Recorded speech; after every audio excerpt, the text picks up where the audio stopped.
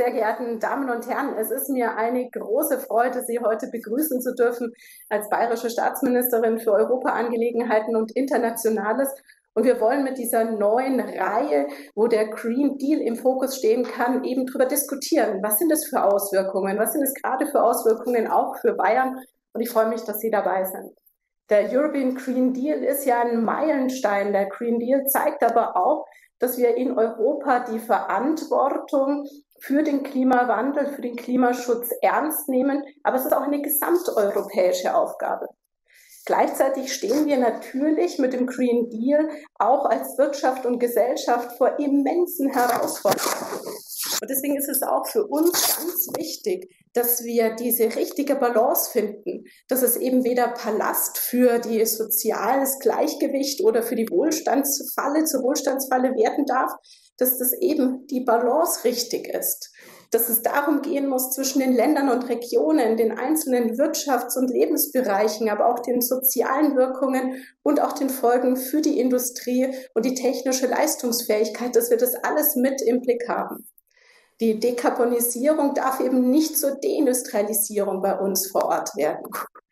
Gleichzeitig merken wir, und das ist ja spürbar, dass schon die bisherigen Maßnahmen immensen Einfluss auch auf die Klimaziele der EU nehmen. Das heißt, dass allein die europäischen Treibhausgasemissionshandel, den es bisher schon gibt, dafür gesorgt hat, dass es eben zu einem Rückgang der Treibhausgase, der Emissionen um 43 äh, Prozent innerhalb der EU geführt hat. Also durchaus so, dass es ein Weg ist, wo man merkt, okay, es tut sich was, es bewegt sich was. Aber ich bleibe dabei, es muss trotzdem die richtige Balance sein und es darf eben nicht zu einem Ballast für soziales Gleichgewicht oder zur Wohlstandsfalle werden. Und deswegen heute auch die Frage, wie ambitioniert ist es mit der CO2-Bepreisung? Was sind die Folgen? Wie sehen wir das? Und auch die Frage eben ganz groß im Fokus, was, was wird aus der Wettbewerbsfähigkeit Europas? Und ich freue mich, dass wir heute diskutieren können, vor allem das Paket Fit for 55. Die Vorschläge liegen ja auf dem Tisch und sind bekannt.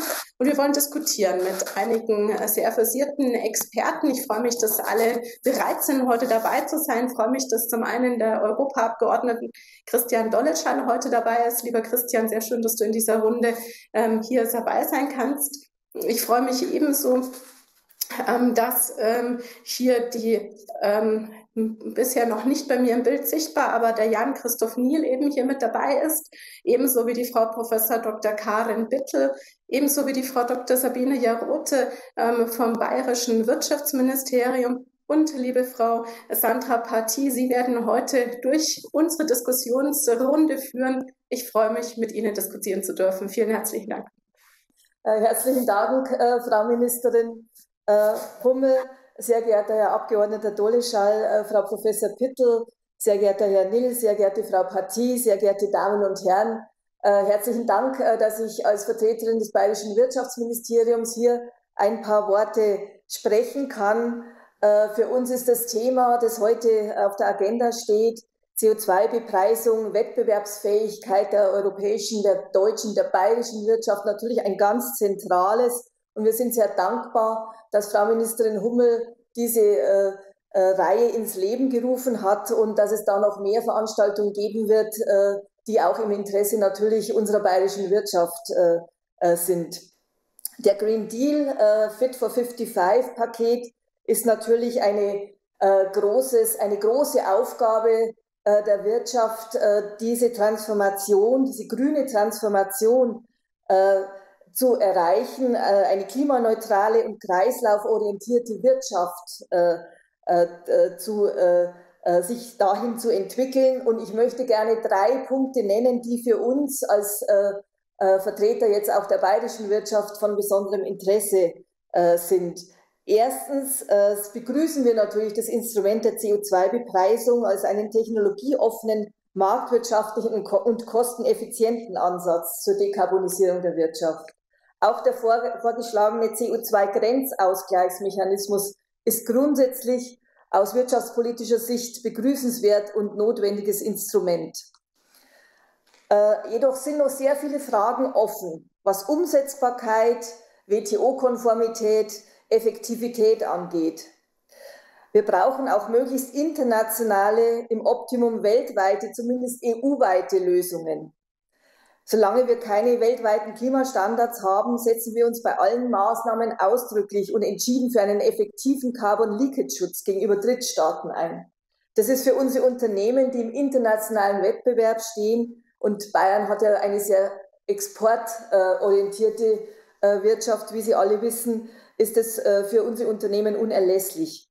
Äh, wir befürchten ansonsten schon eine Verlagerung von Produktion und damit auch Treibhausgasemissionen und Arbeitsplätzen in Länder, die geringere Standards beim Klimaschutz setzen und meist auch eine geringere CO2-Produktivität aufweisen.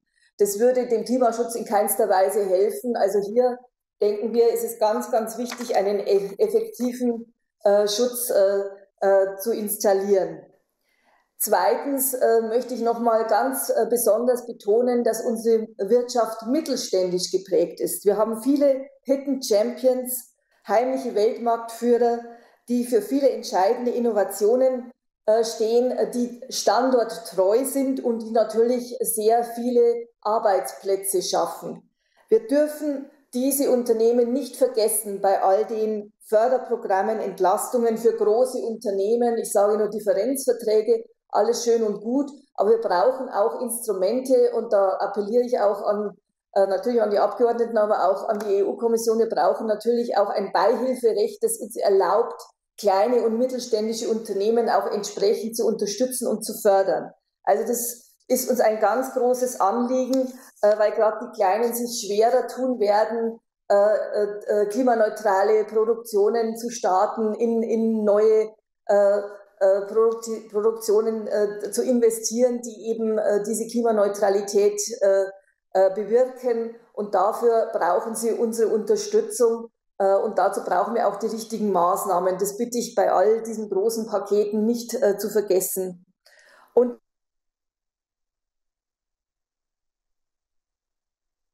unsere Betriebe angesichts der aktuellen Energiepreiskrise. Viele Unternehmen äh, äußern sich alarmierend und kündigen an, dass sie die Preiserhöhungen auf ihre Erzeugnisse umlegen müssen äh, oder sie sehen sogar ihre Existenz bedroht. Auch vor diesem Hintergrund sollte das Gesetzespaket zum europäischen Green Deal nochmals beleuchtet werden. Es muss unbedingt eine äh, diese geplante Verschärfung und Ausweitung der CO2-Bepreisung, das muss mit Augenmaß geschehen und nicht so sehr am Preis gedreht werden, äh, weil äh, uns sonst die Energiepreisbelastungen noch stärker ähm, sich eben noch stärker äh, zeigen und damit die internationale Wettbewerbsfähigkeit unserer Unternehmen äh, gefährdet äh, wird. Wir brauchen eben dieses Zieldreieck Umweltverträglichkeit, Versorgungssicherheit und natürlich äh, Bezahlbarkeit. Äh, denn nur damit kann man auch Akzeptanz schaffen. Und die, die ist ja genauso wichtig äh, für die Umsetzung unserer Klimaziele als jetzt all die anderen wichtigen Ziele, die natürlich auch zu erreichen sind. Der Green Deal ist ein ehrgeiziges Projekt, das wissen wir. Wir müssen an vielen Stellschrauben drehen. Wir sind bereit, die Unternehmen dabei äh, zu unterstützen und zu begleiten und hoffen natürlich auch, dass wir das zusammen mit der EU tun können und da auch entsprechend viele unserer äh, äh, Belange auch berücksichtigt werden. In dem Sinne äh, danke ich sehr für, äh, für dass ich hier äh, kurz sprechen durfte und wünsche Ihnen allen eine sehr gute Diskussion und eine gute informative Auftaktveranstaltung.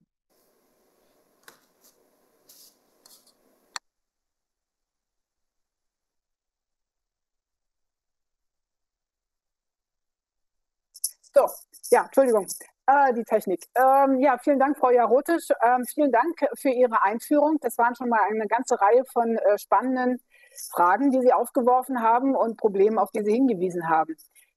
Ich darf erstmal alle Zuschauenden, äh, Zuschauerinnen, Zuschauer begrüßen. Vielen Dank, dass Sie sich die Zeit nehmen, hier zu diesem Lunchtime-Briefing der Landesvertretung Bayerns bei der EU dabei zu sein. Und äh, das Thema äh, ist ein durchaus relevantes, das äh, viele von uns, von Ihnen hier in Brüssel und natürlich auch darüber hinaus in Bayern, in Deutschland umtreibt, äh, die CO2-Bepreisung und was das für Auswirkungen hat auf die Wettbewerbsfähigkeit der europäischen Wirtschaft.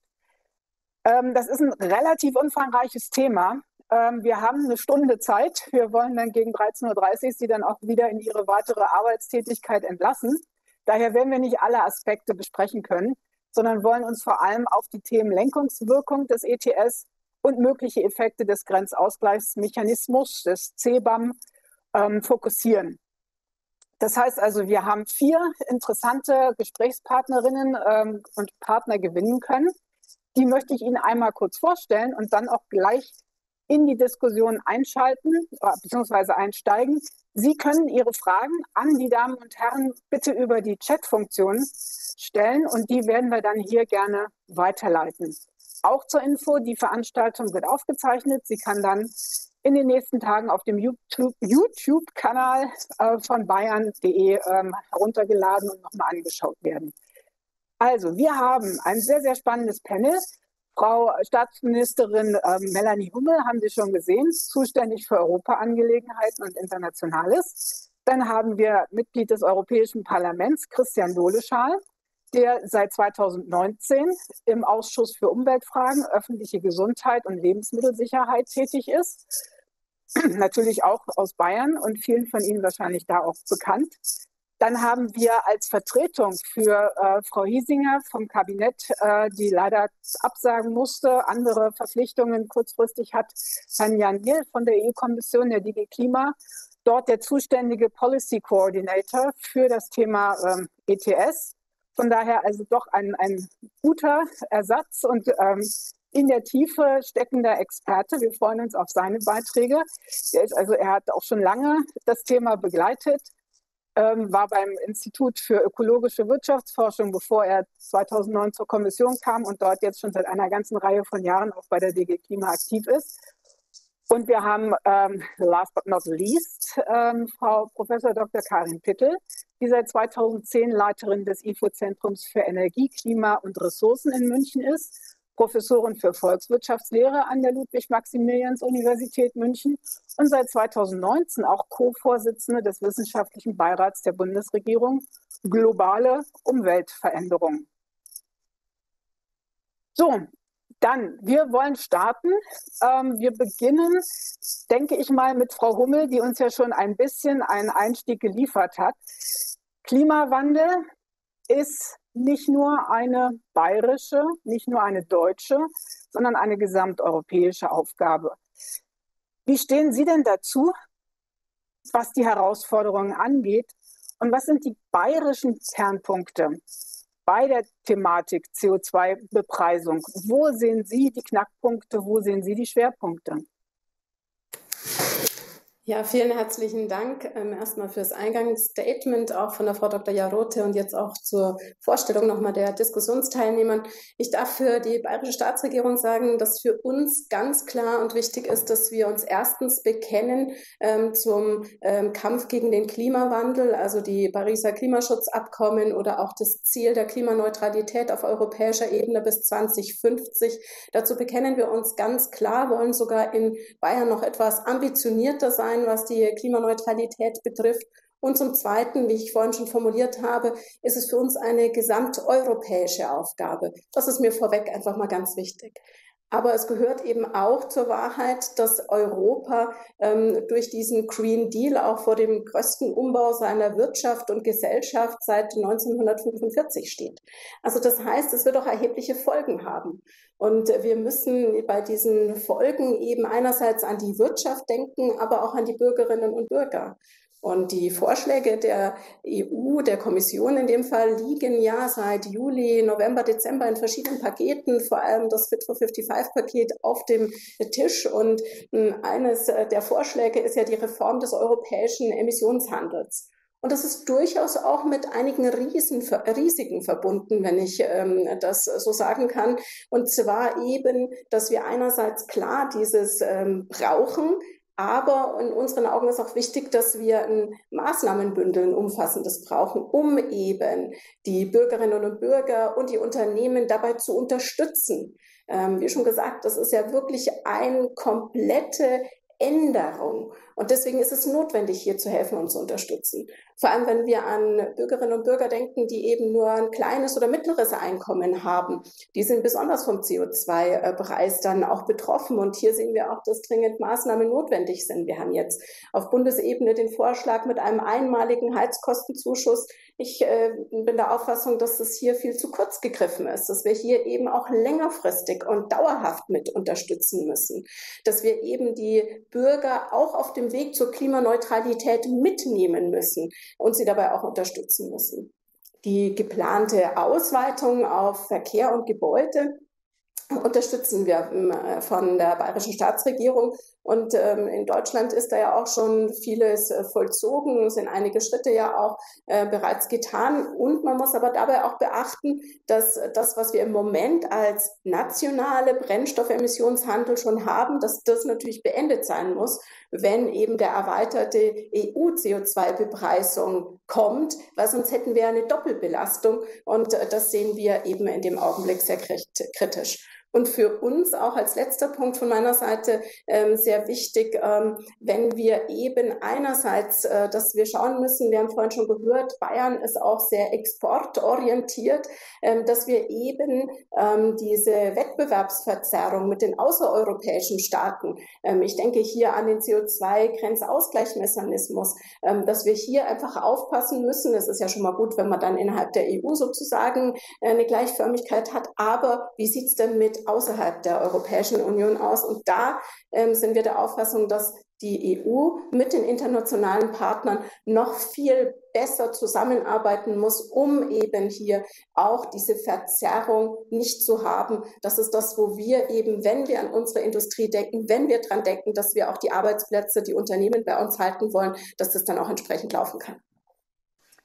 Vielen Dank, Frau Hummel. Ähm, in der Tat, ein Haufen wichtige und schwierige Aufgaben, die da vor uns liegen.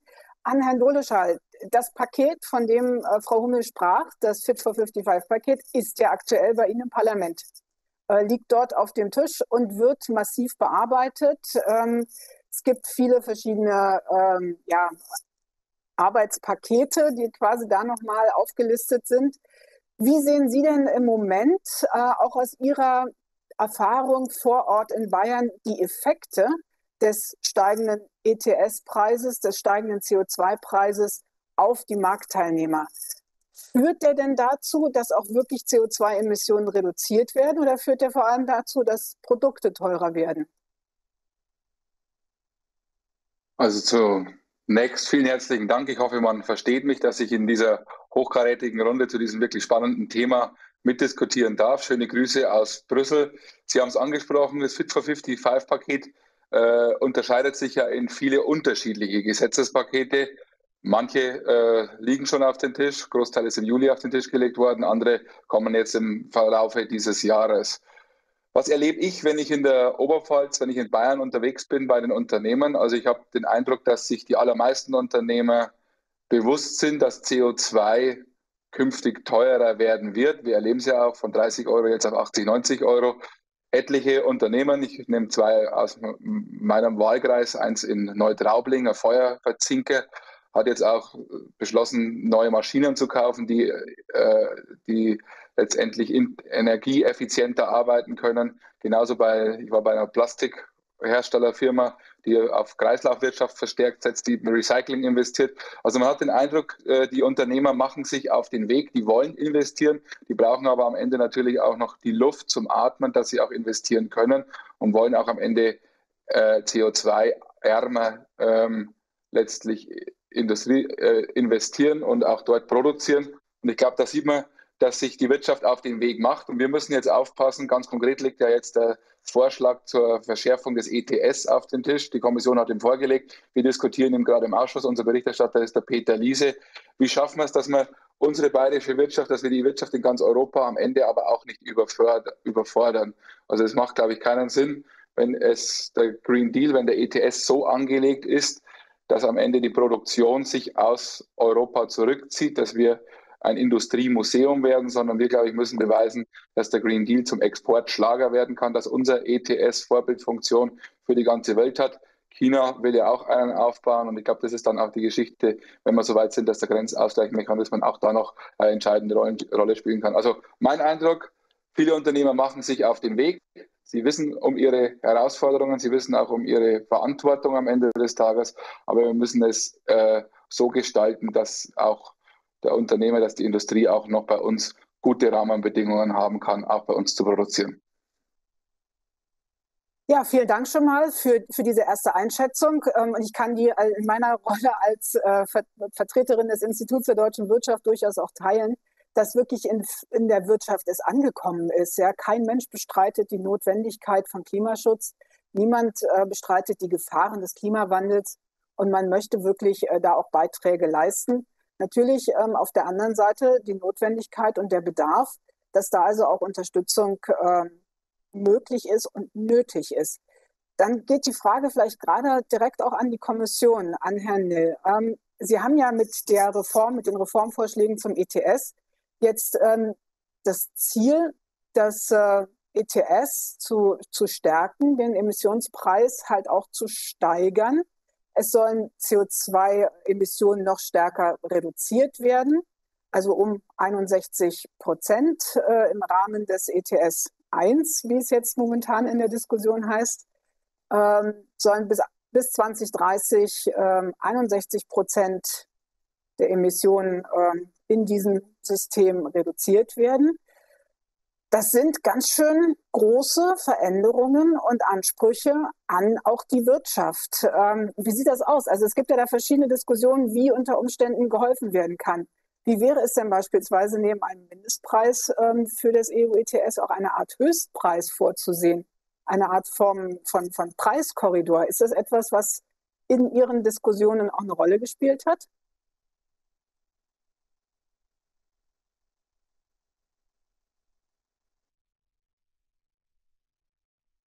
So, die Technik. ja, guten Tag allerseits. Ich möchte zunächst das Bedauern von Frau Hiesinger nochmal ausdrücken, dass sie nicht teilnehmen konnte. Das lag nicht in ihrer Macht. Äh, bin gerne eingesprungen. Ja, ich meine, sehr, schon wichtige Fragen anreißen. Äh, in der Tat, äh, das gesetzlich verbindliche Ziel, klimaneutral zu werden und 2030 55 Prozent Emissionen zu reduzieren, hat erhebliche Anforderungen für uns alle, für alle Sektoren, Wirtschaft, Bürger etc., Technologieentwicklung. Es ist einfach eine große Herausforderung, aber wir sind überzeugt, dass mit dem vorgeschlagenen großen Paket, Herr äh, Dollischall hat schon darauf hingewiesen, dass es ein ganzes Bündel von Maßnahmen ist, wir den richtigen Schritt in diese Richtung vorgelegt haben und sehen jetzt der Diskussion im Parlament und Rat mit Spannung entgegen. Zur Frage der Preiskorridors, das Sie angesprochen haben. Äh, das ist natürlich eine Debatte, die es schon seit einigen Jahren gibt. Preisfloor, also Mindestpreis, Höchstpreis. Äh, die Mindestpreisfrage haben wir auch in der Folgenabschätzung im Rahmen des Reviews der Marktstabilitätsreserve, die das europäische Instrument sozusagen der Mengensteuerung ist, auch analysiert. Also wer daran interessiert hat, findet weitere Analysen dazu. Aber die Kommission hat sich dagegen äh, entschieden, in diese Richtung einen Vorschlag zu machen. Wir bleiben dabei, dass es ein marktbasiertes Instrument ist, wo das Umweltziel definiert, was nötig ist. Und der Preis ist dann nur der Ausdruck, äh, zusammen mit den anderen Instrumenten natürlich, was, äh, äh, was nötig ist. Und den, den, Aspekt der Marktstabilisierung, dafür gibt es eben das Instrument der Marktstabilitätsreserve. Seit 2019 ist es jetzt auch effektiv in Kraft.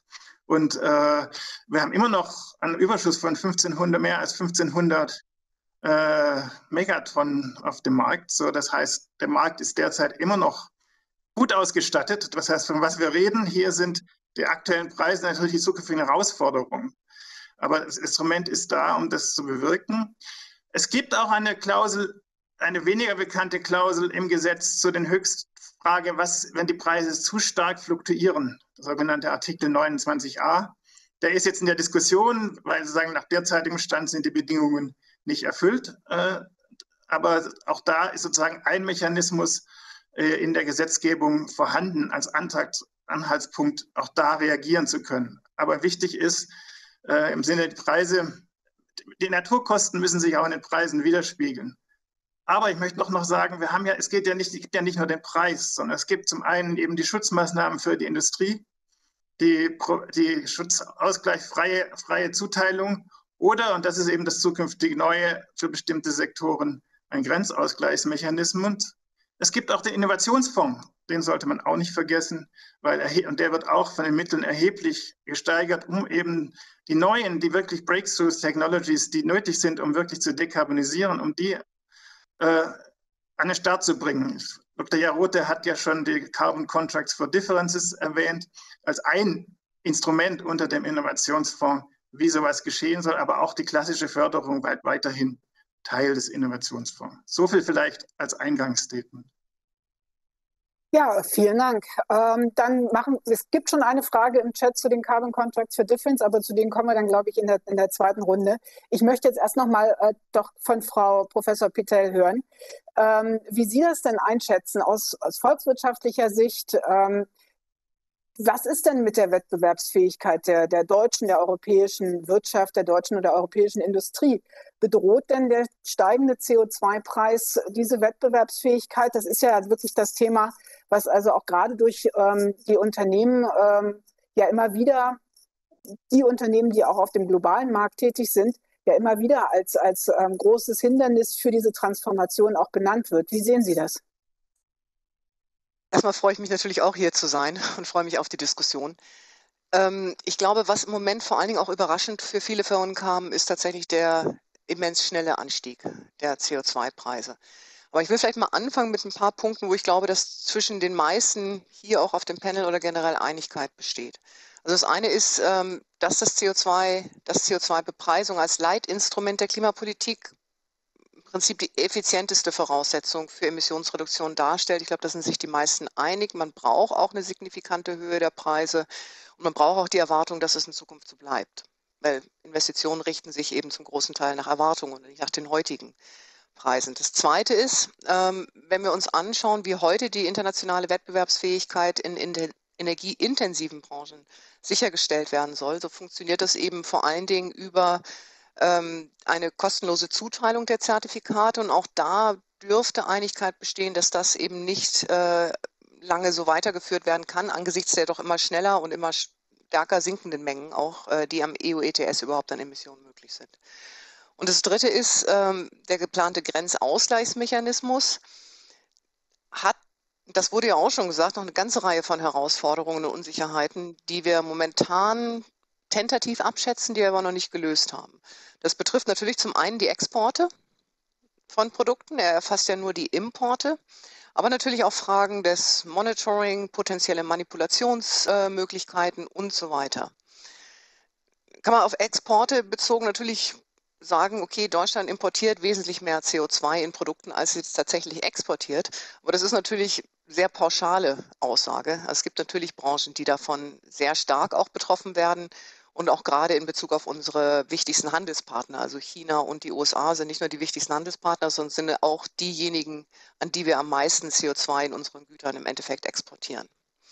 Gleichzeitig können wir im Prinzip wenig, ähm, also zumindest verstehe ich die Juristen so, können wir nicht einfach sagen, wir erweitern den Grenzausgleichsmechanismus tatsächlich auf die Exporte, weil das aus WTO-Gründen eben sehr problematisch ist. Ja, was machen wir dann? Aus meiner Sicht ist eben die eigentlich einzige langfristige Option tatsächlich auch äh, internationale Kooperation zu stärken. Momentan sehen wir, dass sich immer mehr Staaten auch auf Klimaneutralität als Ziel bis Mitte des Jahrhunderts ähm, festlegen über 100 Staaten laut UN, China und die USA sind auch dabei. Aber was wir natürlich auch wiederum sehen, ist, dass äh, die Maßnahmen in vielen Staaten einfach noch nicht im gleichen Maße voranschreiten, wie es bei uns auch ist. Und hier aus volkswirtschaftlicher Sicht würde es am meisten Sinn machen, dass, die US, äh, dass Europa tatsächlich versucht, bilaterale, multilaterale Kooperationen mit den quasi insbesondere den größten Handelspartnern erstmal einzugehen um sich dort auf einen gemeinsamen Weg zu einigen. Momentan ist das mit Sicherheit extrem schwierig, Weil wir haben in den USA nicht absehbar, dass wir eine föderale CO2-Steuer kriegen. Wir haben in China nicht absehbar, dass die CO2-Preise auf irgendein Niveau steigen, das auch nur dem nahe kommt, was wir in Europa haben. Das heißt, hier wird man sehr komplizierten Verhandlungen noch äh, gegenüberstehen und muss sich überlegen, wie man technische Regulierungen überhaupt anrechnet, auch zum Beispiel bei, ähm, bei CO2-Minderungsversuchen, muss überlegen, wie man Subventionen umgeht. Es gibt natürlich auch durchaus Länder, die mehr auf Subventionen setzen. Aber insgesamt ist es trotzdem unabdingbar, wenn wir unsere Wettbewerbsfähigkeit bei einer starken Reduktion der Emissionen sichern wollen, müssen wir international den gleichen Weg gehen. Und da sind immer die wichtigsten Handelspartner erstmal am ausschlaggebendsten. Und es macht auch Sinn, nicht 195 Staaten da gleich mit einzubeziehen, sondern das zu versuchen, erstmal im kleinen Kern zu machen. Wir haben jetzt gesehen bei den UN-Klimaverhandlungen, dass Russland und äh, Russland, die USA und China sich da schon näher gekommen sind. Was aus dem Abkommen rauskommt, das muss man jetzt abwarten. Aber das Wichtige ist aus meiner Sicht, dass sich die EU da jetzt nicht abhängen lässt, sondern dass die EU eben auch mit beiden tatsächlich in Verhandlungen tritt und auf diese Art und Weise im Prinzip diese potenziellen Verluste an Wettbewerbsfähigkeit durch eine gemeinsame Linie eben auffängt. Aber das setzt eben auch voraus, dass man in anderen Bereichen zusammenarbeitet. Also zum Beispiel in Technologie, in Kooperation in diesen Bereichen, Ressourcenstrategien. Da gibt es ganz viele verschiedene Aspekte, die über die reine CO2-Bepreisung hinausgehen. Ja, vielen Dank erstmal. Ähm, es sind auch in der Tat äh, für eine nächste Diskussionsrunde schon einige Stichworte jetzt genannt worden. CBAM, äh, Klimaclub beispielsweise, äh, bilaterale Kooperation. Ich würde gerne noch mal aber eine Frage aus dem Chat schon mal aufnehmen und an Herrn Nill weiterleiten. Es gibt ähm, die Frage, welche Branchen denn wohl in den Genuss von Carbon Contracts for Difference kommen könnten und ob das über Zuteilung oder über Auktionierung passieren sollte. Können Sie darüber schon was sagen?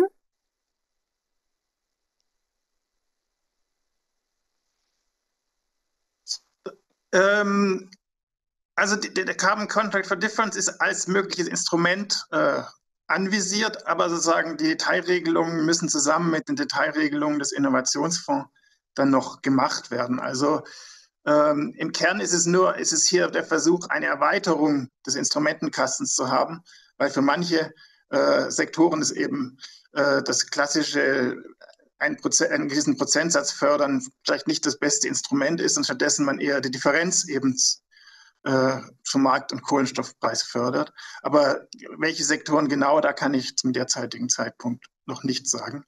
Erstmal sind wir sowieso noch im Vorschlagsprozess, muss man vielleicht noch erinnern, das ist der Kommissionsvorschlag, der auf dem Tisch sitzt. Jetzt ist so ein Rat und Parlament, sind die Gesetzgeber. Und die schauen sich das genau an und dann wird noch vermutlich wieder ein Trilog stattfinden, ähm, um dann zu einem Kompromiss zu bekommen. Und erst dann haben wir ein Gesetz auf dem Tisch, was sozusagen dann die Regeln festlegt. Äh, von daher alles zu seiner Zeit, würde ich denken. Aber es ist natürlich ein wichtig, ist klar, dass, dass, dass es, das Instrument bewusst angesprochen wurde als ein zusätzlicher Baustein des Innovationsfonds Instrumentenkasten, äh, um eben auch das zu ermöglichen, den Rahmen dafür zu schaffen. Dann also an den Fragenden abschließend werden wir es noch nicht klären können hier in dieser Runde, aber es ist definitiv ein Instrumentarium, äh, das äh, eine Rolle spielen könnte.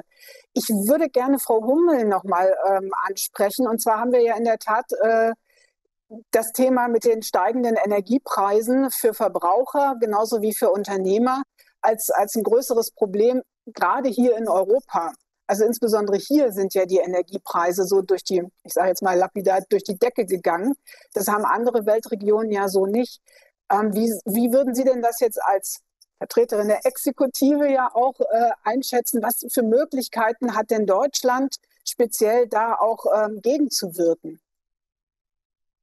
Also in meinen Augen ist es zum einen so, dass es natürlich ähm, schon auch, das hat ja vorhin Christian Dolitschall auch richtig dargelegt, dass es natürlich dazu führt, dass sich viele Unternehmen sehr wohl auch darauf einstellen und umstellen. Also das ist ja schon mal was, ist ja das, was auch äh, bewirkt werden soll. Also und da sehen wir ja auch, dass es durchaus ähm, auch schon ähm, äh, positive Effekte gibt in vielen Firmen. Ich habe vorhin selber die Zahl minus äh, 43 Prozent CO2 eben, ähm, dass das schon einiges eben äh, bewirkt hat. Aber, jetzt komme ich zu dem wirklich Aber, ähm, es ist eben schon nach wie vor so, äh, nicht jeder kann so schnell Und für die Bürger ist es eben schon, auch wenn ich dran denke, wie viele ja, Familien sehr wohl rechnen müssen, was kostet jetzt die Heizung. Ich kann nicht sofort mir eine neue Heizung einbauen oder was gibt der Mieter an mich weiter und, und, und. Also da sind viele, viele Fragen zu, äh, zu beantworten noch, auch auf der nationalen Ebene. Wir haben jetzt gehört, es soll einen einmaligen Heizzuschlag geben, Zuschuss, aber der ist wiederum so, dass er nicht mal das abdeckt, was jetzt schon an Erhöhung da ist. Und wir sind noch nicht beim European Green Deal, der durchschlägt sozusagen. Ähm, und dann denke ich, dass man hier als ähm, nationale Regierung, als Deutschland auch schauen muss, was braucht's da? Wie können wir eben, ich bleibe beim Heizen, hier noch besser unterstützen? Wie können wir eben dann auch dauerhaft unterstützen und in einer Höhe, dass es für die Bürger wirklich ein Ausgleich ist? Oder wir haben kürzlich gehört, dass das, äh, ähm, dass das KfW-Darlehen ähm, äh, nicht mal ähm, mit sofortiger Wirkung ausgesetzt wurde. Da haben wir doch eigentlich die Häuslebauer und die Sanierer dorthin gebracht, dass sie eben ähm, klimamäßig umbauen wollen und bauen wollen. Und dann finde ich das sehr, sehr schade, wenn das eben mit so einem Cut ähm, kommt. Und da hat es äh, sicherlich viele Familien hart getroffen, die sich überlegt haben, Mensch, wir wollen was tun und jetzt äh, fehlt uns das Geld. Also es bleibt äh, auch gerade für die europäische Wirtschaft ähm, zumindest mittelfristig erstmal ein Problem. Ähm, an, an, Herrn Nulescher vielleicht auch nochmal die Frage, ähm, wie, wie, nehmen Sie diese Diskussion mit dem gestiegenen ähm, Energiepreis, der ja nur zum Teil wegen des CO2-Preises diese Höhen hat, wie nehmen Sie die wahr? Und ähm, eine zweite Frage, die ich gerne an Sie noch stellen würde, auch in quasi ein bisschen so zu hören, wie die Diskussionen im Envi denn so laufen. Es gibt ja, ich glaube vom VCI, eine Berechnung, ähm, damit es wettbewerbsfähig zugeht bräuchte man einen Industriestrompreis von circa 4 Cent pro Kilowattstunde, äh, um dann eben tatsächlich ein Carbon Leakage zu verhindern, um einen wettbewerbsfähigen äh, Produktionsprozess hier weiter aufrechterhalten zu können. Ist das eine Diskussion, die gerade auch im Ausschuss stattfindet? Also zunächst zur ersten Frage. Also ich glaube, wenn man die Stimmung auch in der Bevölkerung ansieht, dann stellt man fest, dass die wirklich exorbitant gestiegenen Energiekosten im Moment nicht dazu führen, dass der ETS sich größter Beliebtheit erfreut. Allerdings glaube ich, muss man zur Einordnung schon mal sagen, ja, der ETS ist im vergangenen Jahr stark gestiegen, aber die aktuelle Preisentwicklung hat natürlich die, also weitere Gründe als nur die gestiegenen äh, CO2-Preise. Wir haben Erdgas wird knapp äh, und deshalb wäre nach meiner Überzeugung ein erster Schritt zu sagen, bevor man irgendwelche Heizkostenzuschüsse verteilt, zu sagen, was können wir zum Beispiel in Deutschland machen, um den Strompreis für alle günstiger zu machen, weil es wird eine soziale Frage werden. Das ist schon eine soziale Frage. Das heißt, äh, Stromsteuer absenken, EEG-Umlage, da hören wir viele Ankündigungen, aber passiert ist noch nichts. Also ich glaube, da braucht es tatsächlich kurzfristige Methodiken um der ETS an sich ist natürlich zu stark gestiegen, der überfordert auch viele, aber ich glaube, dass wir einen CO2-Preis insgesamt brauchen, der auch deutlich höher ist, als der vielleicht noch vor zwei, drei Jahren war. Auch da, glaube ich, besteht grundsätzlich Einigkeit, um eben den notwendigen Umbau mit dem marktwirtschaftlichen Instrument äh, des, der CO2-Bepreisung durch den ETS, durch den Emissionshandel zu gewährleisten. Wir haben, und da kommen wir zur nächsten Diskussion, Natürlich eine Diskussion wie zum Beispiel bei der bayerischen Chemieindustrie. Wie schaffen wir es, dass bayerische Chemieindustrie wettbewerbsfähig bleiben kann? Wir brauchen die bayerische Chemie auch, um die Erneuerbaren auszubauen. Bei Photovoltaik, bei sämtlichen anderen Dingen ist auch immer bayerische Chemie mit dabei. Und da nützt uns nichts, wenn die Produktion eingestellt wird oder komplett verlagert wird. Die Diskussion mit dem Industriestrompreis kennen wir, die wäre sicherlich auch richtig. Aber im Moment dreht sich die Diskussion eher dahingehend, dass man ja momentan den Vorschlag am Tisch liegen hat, dass die äh, die, die kostenfreie CO2-Zertifikatszuteilung ja, jetzt in den nächsten Jahren auch deutlich sinken wird. Äh, wie kann man da vielleicht noch die eine oder andere Ausnahme machen? Sie ist ja verknüpft mit dem CBAM. Das heißt, ab dem Zeitpunkt, wo der scharf geschaltet wird, sollte es ja noch dramatischer gehen. Ich glaube, wir müssen schauen, dass wir ja auf der einen Seite die Diskussion um den Industriestrompreis weiter aufrechterhalten, aber da hören wir wenig Signale von der Kommission, dass das realistisch ist aber auch schauen, dass die unsere Industrie, unsere stromintensiven Industrie über eben weiterhin kostenfreie Zertifikate geholfen werden kann. Ja, vielen Dank. Ähm, das sind in der Tat ganz große Herausforderungen. Ähm, ich würde dann auch gleich mit dem Thema gerne weitermachen. Also wir haben den CBAM, ähm, ich bleibe jetzt mal beim Jargon. Also wir meinen den CO2-Grenzausgleichsmechanismus und nennen ihn eben CBAM. Dass also der wirklich eine zentrale Rolle auch spielen wird für alle die, die eben äh, im Export aktiv sind, ähm, insbesondere, aber natürlich auch äh, für viele andere Akteure. Das heißt also die Frage nach äh, der, na kommt denn der CBAM und in welcher Form kommt er, beschäftigt natürlich ähm, ganz viele Akteure.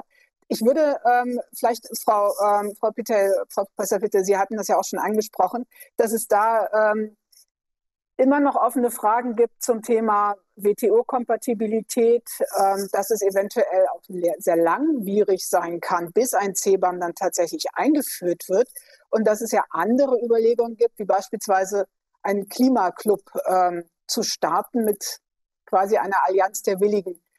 Wie sehen Sie das? Ähm, hat der CBAM überhaupt Aussicht auf Erfolg? Wird er denn also tatsächlich je WTO-kompatibel sein oder hat man dann nicht irgendwie sofort das Problem mit ähm, quasi auf Englisch heißt es Retaliatory Actions. Ähm, helfen Sie mir bei der Übersetzung. Vergeltungsmaßnahmen. Selbige, ähm, selbige Vergeltungsmaßnahmen äh, durch andere Akteure. Also ich würde jetzt die Frage von Klimaclubs und internationaler Kooperation und äh, CBAM nicht als gegeneinander sehen, sondern im Prinzip als eine Weiterentwicklung, wenn man so möchte. Also CBAM in einer gewissen Weise stellt natürlich auch eine Drohkulisse von der EU dar. Für sagt, wenn ihr euch nicht mit uns einig wärt, dann kommt das. Und wenn ich CBAM habe, habe aber gleichzeitig im Prinzip auch die CO2-Bepreisung und Abkommen mit äh, den wichtigsten Handelspartnern, dann würde dort ja auch gar kein Grenzsteuerausgleich mehr anfallen. Das muss man auch sagen. Aber nichtsdestotrotz ist es noch spannend, also so wie ich die Kommission verstehe, und da möchte ich jetzt als Ökonomin auch nicht juristische Expertise vor ähm, mich vordrängeln, sagen wir mal so. Das glaube ich nicht, dass ich das habe. Aber so wie ich die Kommission verstanden habe, ist es in der jetzigen Form eben, wird erwartet, dass es äh, WTO-kompatibel ist. Nichtsdestotrotz kann natürlich durchaus auch erwartet werden, dass es Länder gibt, die dagegen vorgehen werden. Das heißt also, da ist in der Hinsicht die Unsicherheit da. Die Unsicherheit ist auch dahingehend natürlich hinsichtlich der Zeitpläne. Das haben wir auch gerade eben schon gehört, ob sich das wirklich so tatsächlich durchsetzen lässt, auch im, im, auf EU-Ebene, also im Parlament zum Beispiel, ob das dann auch so verabschiedet wird. Das werden wir abwarten müssen. Aber gleichzeitig natürlich auch die Frage, wie kann ich überhaupt die ähm, Emissionen in anderen Ländern tatsächlich gut kontrollieren. Aktuell wird davon ausgegangen, wenn ich das nicht kann, dann nehme ich im Prinzip Durchschnittswerte, Erfahrungswerte, die irgendwo dokumentiert sind. Aber das spiegelt natürlich dann eigentlich auch nicht die Verursachungsgerechtigkeit wider. Das heißt also, hier müssen wir auf jeden Fall weiterentwickeln. Wir müssen auch im Prinzip uns noch überlegen, wie wir Manipulationen, zum Beispiel Umdeklaration von Steuern in anderen Ländern und plötzlich hat man einen CO2-Preis, obwohl man gar keinen hat. All diese Dinge müssen natürlich auch noch mit berücksichtigt werden, ganz zu schweigen von vielleicht auch bürokratischem Aufwand der Einführung. Also insofern, ich denke schon, dass so etwas kommen wird. Ich denke auch, dass es äh, verstärkte internationale Verhandlungen geben wird, weil die Drohungen nicht nur mit der WTO, sondern auch mit anderen Vergeltungsmaßnahmen, das haben wir ja auch schon bei der Einführung des Emissionshandels äh, für den Flugverkehr gesehen, die wird auf jeden Fall, die werden auf jeden Fall auch kommen und insofern ganz ohne Partner und ganz gegen äh, die internationale Gemeinschaft wird es sehr schwierig werden. Ja, vielen Dank. In der Tat, ähm, das bleibt äh, für gerade auch die europäische Wirtschaft dann halt auch weiterhin erstmal ein Problem. Ähm, also jetzt kurzfristig, genauso wie mittelfristig, solange da also keine anderen ähm, Mechanismen sind, ist man natürlich erstmal dem, dem globalen Wettbewerb, naja, ein bisschen im Hintertreffen. Herr, Herr Nehl, sehen Sie das denn auch so, dass erstmal das CBAM vor allem eine Drohkulisse sein soll? ein Teil der Frage, zweiter Teil der Frage zum CBAM, den ich gerne noch an Sie stellen würde. Es geht ja im Moment vor allem um die Importe von bestimmten Produkten. Zu den Exporten äußert sich der Kommissionsvorschlag nicht so wirklich. Ähm, wie sehen Sie denn äh, diesen Aspekt? Ja, ich komme sofort auf Ihre Fragen zurück. Darf ich noch kurz auf zwei Sachen reagieren, die meine Vorredner und Vorrednerinnen gesagt haben? Ganz kurz nur. Ähm, zu Frau Hummel mit, mit der Bedeutung, dass man was mit dem Heizen macht. Das ist was, was man für die Kommission auch teilt, weil das haben wir, und als wir diesen neuen ITS vorgeschlagen haben für Verkehr und Gebäude, haben wir gleichzeitig auch einen sozialen Klimafonds vorgeschlagen, der genau das adressiert und insbesondere für die, die bedürftig sind, mit einem klaren Fokus auf die Im Slang heißt es Vulnerable Households. Ich habe noch immer keine gute deutsche Übersetzung dafür gefunden. Bedürftige Haushalte klingt ein bisschen komisch, aber vielleicht ist es die beste. Und, und, Klein und, und Kleinstunternehmen und Verkehrsnutzer. Das heißt, das ist auch der Kommission ein sehr wichtiges Anliegen und ist integral mitgedacht im Paket. Äh, und Herr Dolleschall hat schon angesprochen, dass für den aktuellen CO2-Preistrend der letzten Monate, dass da andere Faktoren vermutlich äh, weit und den Strompreis vor allem weit ausschlaggebender sind. Also, an unseren Berechnungen ist der Gaspreis bis zu neunfach mehr für den, für den Anstieg der Strompreise verantwortlich als der CO2-Preis. Und Gas, das importieren wir eben. Das Geld fließt ab sozusagen in andere Länder, weil sozusagen, wenn wir verstärkt auf Erneuerbare umsteigen und Dekarbonisierung, dann bleiben die Einnahmen aus dem Emissionshandel, die bleiben ja vollständig in Europa und können investiert werden. Die gehen ja nicht verloren. Was auf der einen Seite eine Kosten ist, ist eine Einnahme auf der anderen Seite und kann für Investitionen, für Unterstützung genutzt werden. Nun aber zu Ihrer Frage, ähm, zu den CBAM und äh, Grenzausgleich äh, Carbon Border Adjustment Measure, das ist, was CBAM versteht. Ähm, also ich denke, es ist einfach ein naheliegendes Korrelat, dass wir einerseits sagen, wenn wir den Anspruch so verschärfen und weitergehen als bisher zum Teil einige Partner, dann müssen wir sagen, eben zum Schutz auch der Umweltwirkung. Ich meine, es ist primär ein Umweltinstrument, was wichtig ist. Ich meine, Verlagerung ist ja auch ein Umweltschaden, wenn die Emissionen verlagert würden und ein ökonomischer Schaden.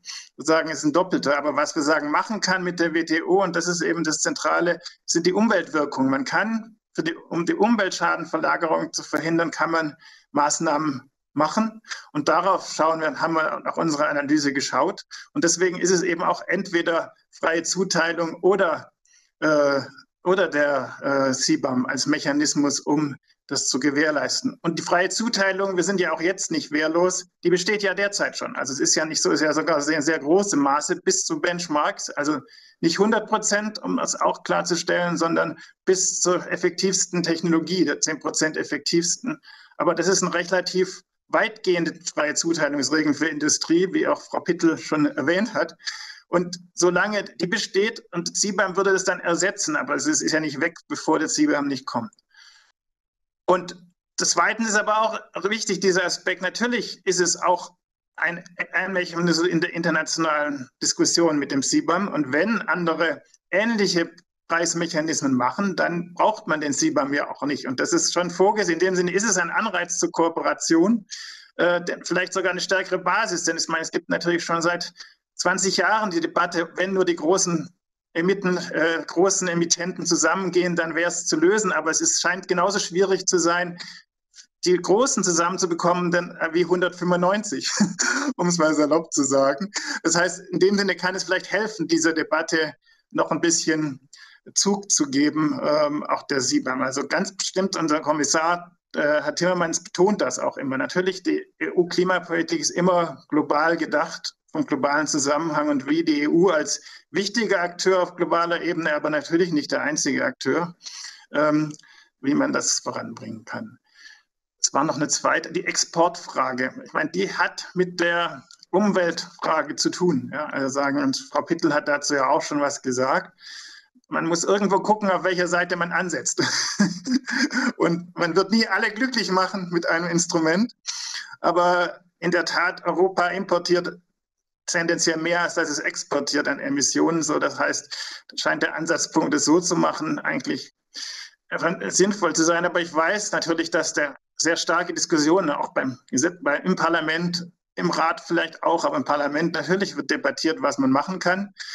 Aber die WTO-Kompatibilität ist schon ein, ein, wichtiger Hebel. Ich bin auch kein Jurist, kann da also auch nicht mehr in die Tiefe gehen, aber es steht und fällt mit der Umwelt, dem Umweltbenefit und ein Export Förderung ist sozusagen ja nicht oder weniger Schutz ist halt schwierig zu sagen, dass dadurch die Dekarbonisierung vorangebracht wird. Also ich denke, ähm, dass wir ja auch aus der Wirtschaft immer wieder die Signale hören, ähm, dass natürlich Umweltschutz wichtig ist und Klimaschutz ähm, also auch wirklich ein zentraler handlungsleitender äh, Faktor geworden ist. Nur andererseits bleibt die Belastung der Unternehmen ja bestehen, beziehungsweise wird immer noch größer, sei es jetzt durch den Gaspreisanstieg, sei es durch andere äh, Umweltschutzmaßnahmen, die alle ihre Berechtigung haben. Nur letztendlich stehe ich als Unternehmer im Zweifelsfall ja da und habe immer höhere Kosten und immer höhere Belastungen. Von daher ist ja dann doch die Frage Richtung EU, was kann man denn mit dem Instrumentenkasten machen, ähm, damit dann also auch mal eine Entlastung der Unternehmen ermöglicht wird. Herr Donischer, ich weiß nicht, wie die Diskussionen dazu im Ausschuss laufen. Ähm, ich weiß, dass äh, im Regelfall die Interessen im Umweltausschuss immer ein bisschen anders sind als die Interessenslage im Industrieausschuss, auch des Europäischen Parlaments. Aber vielleicht haben Sie auch ein bisschen Einblicke, die Sie uns da geben können.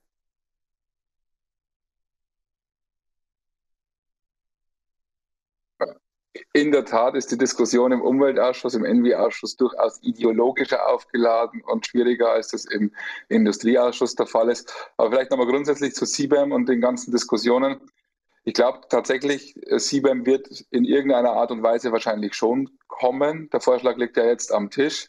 Wir erleben aber doch gerade auch in der europäischen Diskussion viele unterschiedliche, auch nationale Interessen. Wir haben es bei der Taxonomie erleben dürfen, dass da natürlich auch die die, die Länderinteressen noch äh, eine gehörige Portion mitspielen. Und deshalb ist die Idee zu sagen, wir gründen einen Klimaclub zum Beispiel mit China am Ende wahrscheinlich die deutlich effektivere. Wir wissen nicht, was passiert. In, Klima gibt's ja, in China gibt es ja unterschiedliche Signale. Auf der einen Seite blinken sie, dass sie bis 2060 klimaneutral werden. Nichtsdestotrotz wollen sie bis 2030 noch äh, CO2-Aufwuchs zulassen. Wir lesen immer wieder, wie viele Kohlekraftwerke offensichtlich in China gebaut werden. Auf der anderen Seite gehen aber wieder welche vom Netz. Bei den Erneuerbaren hört man, dass sie teilweise schneller unterwegs sind als wir. Also da müssen wir einfach, glaube ich, die Diskussion führen und am besten gelingt es uns mit China, mit Amerika, mit den großen Partnern irgendeine Art und Weise einen Klimaclub zu machen, um dann, es ist ja auch im CBAM so angelegt, eben keinen Grenzausgleich zu haben. Also da glaube ich, gibt es die Diskussion und da müssen wir gucken. Das Exportproblem haben wir natürlich, das wir nicht hätten, wenn wir kostenfrei CO2-Zertifikate zuteilen, weil dann die Produktion günstiger ist. Und das ist ein Thema, das mich sowohl bei der Diskussion in der Bundesregierung, bei den Heizkostenzuschüssen, als auch jetzt, der Nils hat es angesprochen, bei den Diskussionen über die Einnahmen. Wir machen dann wieder irgendeinen Fonds für, äh, für, für sozial Schwache, die äh, zugeteilt werden können. Ich habe sozusagen auch ein Stück weit als EVP-Politiker, als konservativ-liberaler Politiker immer ein Stück weit Schwierigkeiten damit, wenn erst der Staat die Hand aufhält und Geld hat und dann soll es wieder umverteilt werden. Weil das ist das, was auch ich höre, sowohl bei CBAM und bei anderen Dingen. Es wird halt immer zum Bürokratiemonster am Ende. Deshalb ich glaube, wir müssen auch da die, die, Diskussion unterscheiden. In Deutschland ist es wichtig, den Strompreis durch Absenkung Stromsteuer und EEG-Umlagesenkung zu reduzieren, weil dann haben wir nur, also dann haben wir vor allem die, die ETS-Kosten, die ja dann marktanreiztechnisch äh, unterwegs sind. Und auf europäischer Ebene müssen wir auch schauen, dass wir die Kosten nicht in unendliche Höhen treiben. Ich glaube, das ist die Diskussion, wie wir am Ende, glaube ich, am besten die Dinge gestalten können. Ja, vielen Dank. Frau Hummel, vielleicht auch nochmal an Sie ähm, die Frage dieser Klimafonds, der von Herrn Nilja angesprochen wurde, der also ein Bestandteil äh, auch des Pakets ist und der ja so ein bisschen dafür, also der ja dafür sorgen soll, dass bestimmte ähm, ja, große Belastungen ähm, durch, äh, den, den, durch, durch das ETS, durch die äh, Strombepreisung, durch die CO2-Bepreisung insbesondere, dass die ein bisschen ausgeglichen werden können. Das wird ja dann, ähm, nehme ich an, auch auf Ihrer Ebene dann einfach umgesetzt werden müssen. Ähm, haben Sie denn im Prinzip schon konkrete Vorgaben oder Vorstellungen oder irgendwie einen Fahrplan ähm, von der europäischen Ebene halt auch bekommen, an den Sie sich dabei halten können? Ähm, bei dem Klimafonds ist ja zum einen erstmal die Frage, wie viel, da gibt es eine Summe, die im Raum steht, es gibt eine Summe, die für Deutschland im Raum steht, aber die steht erstmal für die deutsche Ebene. Und ähm, dabei ist es für mich ganz wichtig, dass es auch wirklich dann da ankommt, sei es eben bei den Ländern, bei den Kommunen, also da, wo auch oder bei den verschiedenen Institutionen, bei den Ebenen, wo es denn auch gebraucht wird. Und ähm, wir erleben jetzt nicht bei dem Klimafonds, weil der ist ja gerade erst im Werden, aber bei anderen Diskussionen, dass es dann manchmal so ist, dass es dann auf der Bundesebene erstmal verbleibt. Und wir Länder haben einerseits die Kosten und die Dinge, die, die zu tun sind oder die Maßnahmen, die umzusetzen sind, aber leider kriegen wir nicht den Benefit davon. Und das ist eine ganz klare Forderung von Bayern her auch zu sagen, dass es auch da, wo wo die Maßnahmen äh, wirken, wo sie sind, dass dann auch wirklich die Gelder bis dorthin kommen und nicht auf einer anderen Ebene versickern. Also deswegen die Idee dahinter, das kann ich, finde ich erstmal äh, gut, dass man sich da Gedanken gemacht hat, zu sagen, wir brauchen da einen gewissen sozialen Ausgleich, aber da muss dann auch wirklich bei denen bitte ankommen, wo es notwendig ist. Und ich teile das, was der Christian Dolitschall auch gesagt hat, wie können wir aber insgesamt auch noch ähm, eben das so verbessern, ähm, dass es eben hier die Preise schon gar nicht so in die Höhe schießen, dass wir dann wieder andere Instrumente brauchen. Also ähm, von daher möglichst quasi da schon ein bisschen an, äh, nicht ein bisschen, sondern an die Wurzel gehen, damit wir gar nicht den Ausgleich in der Art und Weise benötigen. Und vorhin noch ganz kurz zu den ähm, Zertifikaten. Ich halte es eben an dem Bereich für sehr wichtig, dass wir nicht irgendwelche Spekulationen damit anregen. Also dass das, ähm, dass es nicht so äh, nicht so ein Markt wird, der eben dann ein Spekulationsmarkt wird, äh, weil ich glaube, das dient dann auch keinem. Und wie schon gesagt gesagt, ich bin äh, noch dazu nicht nur aus Bayern, sondern aus Oberfranken. Wir haben sehr in ähm, Industrie, die energieintensiv ist. Wir haben wahnsinnig viel Automobilzulieferer. Also für, ist, für uns bedeutet das auch wirklich immer alles, was auf europäischer Ebene entschieden wird, auch die Frage nach dem, gibt es eine Deindustrialisierung bei uns? Was heißt das auch für die Menschen, die dort arbeiten? Die Unternehmen tun wahnsinnig viel, aber wir müssen sie so unterstützen, dass sie die Zeit haben und die Möglichkeit. Ja, vielen Dank dafür. Wir nähern uns auch schon ähm, rasend schnell dem Ende unserer Stunde hier.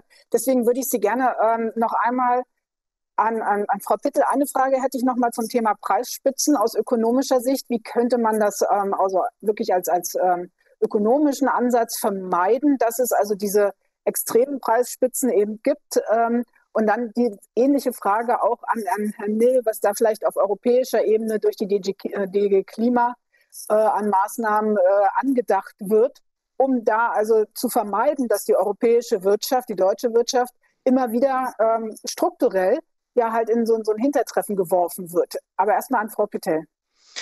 Ich glaube, eins möchte ich vielleicht mal sagen, wir wollen ja im Prinzip über die CO2-Bepreisung, dass gewisse Dinge teurer werden. Das dürfen wir auch nicht aus den Augen verlieren. Also wir können nicht einfach sagen, wir heben einerseits die CO2-Preise und andererseits nivellieren wir das alles. Also was immer wir an Maßnahmen auch für vulnerable Gruppen, und ich sage das jetzt einfach mal in vulnerabel, ähm, einführen sollte, im Prinzip sich auch nicht damit beißen. Und das können wir ja auch machen. Da gibt es ja Maßnahmen dafür. Aber ich glaube, das muss man berücksichtigen. Das Zweite ist auch, dass man nach wie vor sorgfältig auseinanderhält. Was ist Klimapolitik? Was ist wirklich langfristig über mehrere Jahrzehnte? Und was beobachten wir gerade auf den Gasmärkten? Das sind jetzt momentan aktuelle Ausschläge und wir wissen nicht, wie lang die sind. Die Preise an den Spotmärkten sind schon sehr, sehr stark gefallen. Wie schnell sich das jetzt umsetzt, auch für den Konsumenten, das werden wir sehen. Aber das ist, glaube ich, unheimlich wichtig, dass man jetzt nicht sagt und hingeht, und das macht die Kommission, soweit auch ich das sehen kann, nicht, dass man jetzt sagt, wir schrauben zurück bei der Klimapolitik, weil wir aktuell diese hohen Gaspreise haben. Also das vielleicht nochmal als Hintergrund. Aber trotzdem ist natürlich auch die grundsätzliche Frage, diese ganz hohen Spitzen, wie wir jetzt sie jetzt haben, was kann man da machen? kann grundsätzlich sagen, wir regulieren die, die Energiepreise, also zum Beispiel die 4 Euro Cent pro Kilowattstunde wäre eine Option oder eben auch auf Haushaltsebene. Aber im Prinzip ist das genau aus meiner Sicht das falsche Signal. Wir regulieren praktisch die Preise nach unten, ähm, geben die Anreize für die Investitionen, fürs Unabhängigwerden auch in fossile Energien damit auch nicht weiter. Eine langfristige Option ist natürlich von diesen fossilen Energiemärkten auch erstmal unabhängiger zu werden. Meine, Deutschland hat ja momentan auch das große Problem, A, weil wir doch in sehr starkem Maße mehr als der EU-Durchschnitt von äh, russischem Gas abhängig sind, wo die Lieferungen eben sehr stark zurückgegangen sind. Und dass wir natürlich auch ähm, zum Beispiel im Heizen noch einen sehr hohen Anteil auch an Gas haben, an Erdgas. Das heißt also, diese Abhängigkeit von diesen fossilen Energieträgern, von den internationalen Märkten, ist natürlich grundsätzlich ein Problem. Also im Prinzip einfach zu sagen, wir schaffen diese Spitzen ab. Da müssen wir entweder diversifizieren im Gasbereich oder wir müssen umstellen, dass wir unabhängiger davon werden. Aber nichtsdestotrotz ist es natürlich jetzt erstmal dringend, den Gruppen zu helfen, die aktuell darunter leiden. Und das sollte man sich eben genau anschauen und auch nicht auf EU-Ebene in ein quasi ein, ein Subventionierungsrennen für die Industrie daraus werden. Da versucht die Kommission ja auch gegenzusteuern. Gut, vielen Dank. Jetzt muss ich äh, Herrn habe ich nur, kann ich nur 30 Sekunden geben, damit dann also Frau Hummel uns dann hier vielleicht auch nochmal zusammenfassend entlassen kann in äh, den Rest des Tages. Nill, ganz kurz. Ja, ich kann es ganz kurz machen, weil Frau Pittel ja eigentlich vieles schon gesagt hat. Also ich kann vielleicht nur noch eines sagen. Es ist ja nicht nur Deutschland allein betroffen. Ich meine, der CO2-Preis ist Europa, die Gaspreise sind weltweit ein Problem. Ja, das heißt, dem kann sich ja niemand entziehen. Äh, das ist ein Weltmarktphänomen. Und wir versuchen immer diese Balance zu haben zwischen einerseits das Umweltziel, das Klimaziel zu erreichen, aber natürlich den Schutz der Wirtschaft, dass es machbar ist für die Sektoren. Und wir, das Level der Ambition ist das kosteneffiziente Level sozusagen, was die Sektoren beitragen können zum Klimaziel. Und natürlich haben wir die Regelungen im Kraft äh, und neue vorgeschlagen, wie man eben internationalen Wettbewerb geeignet damit umgehen kann. Und bisher hat das eigentlich auch gut gewirkt. Also die empirischen Studien zu den Risiken, Schutzrisiken haben bisher die Probleme nicht bestätigt, die zum Teil vermutet wurden. Aber natürlich müssen wir sehen, wie sich es längerfristig jetzt weiterentwickelt. Ja, wir beobachten das dauernd mit, und da wird auch dazu neue, neue Berichte im März kommen zu den Energiepreisen, unter anderem von der Market Authority, die sich das anschaut, einschließlich des von Frau Hubbel erwähnten Spekulationsfrage. Na, wir sind gespannt auf die Erkenntnisse. Frau Hummel, das Abschlusswort darf ich an Sie geben. Ja, vielen herzlichen Dank erstmal in die Runde an die Mitdiskutanten, ähm, an diejenigen, die heute zugeschaut haben. Äh, mir hat es furchtbar viel Spaß gemacht. Ich habe auch wieder noch mal einiges mitgenommen äh, für meine politische Arbeit und ich kann nur sagen, ähm, es lohnt sich, dass wir weiterhin schauen, was passiert bei dem Green Deal, wie sind die Auswirkungen für Bayern, aber nicht nur für Bayern, sondern für ganz Deutschland. Und ich kann in dem Fall auch sagen, wir werden, das ist heute die erste Veranstaltung gewesen zum Green Deal. Es geht weiter. Ähm, heute war es ja die CO2-Bepreisung, äh, Emissionshandel, die im Fokus stand. Aber beim nächsten Mal wird es übrigens nächsten Donnerstag, den 3. Februar, wieder um 12.30 Uhr, ähm, werden wir uns mit dem Thema Mobilität beschäftigen, nachhaltige Mobilität. Ich würde mich freuen, wieder ähm, Sie begrüßen zu dürfen, darf mich auch bei der Moder Moderatorin bedanken ähm, und äh, freue mich einfach, wenn wir uns weitersehen für die bayerische Vertretung in Brüssel ist dieses Thema European Green Deal ein enorm wichtiges und wir werden es gerne weiter begleiten, durchaus auch kritisch begleiten im Sinne der Bürgerinnen und Bürger und gleichzeitig derjenigen, die bei uns in der, ähm, als Unternehmerinnen und Unternehmer tätig sind. Vielen herzlichen Dank.